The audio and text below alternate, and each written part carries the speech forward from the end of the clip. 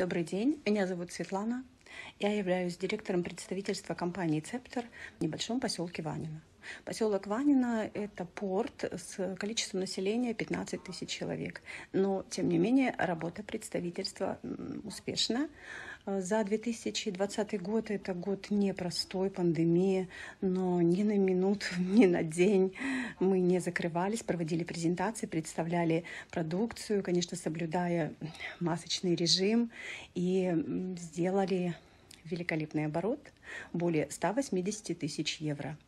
Благодарна очень э, компании «Цептор», благодарна Хабаровскому филиалу за большую поддержку, благодарна всем своим сотрудникам, которые несут миссию здоровья нашему населению на такой дальней территории нашей России. И, конечно, желаю огромного успеха, развития в дальнейшем.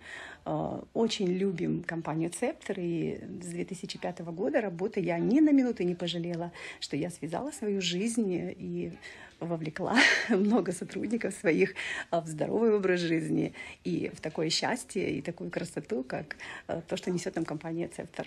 Э, всем успехов!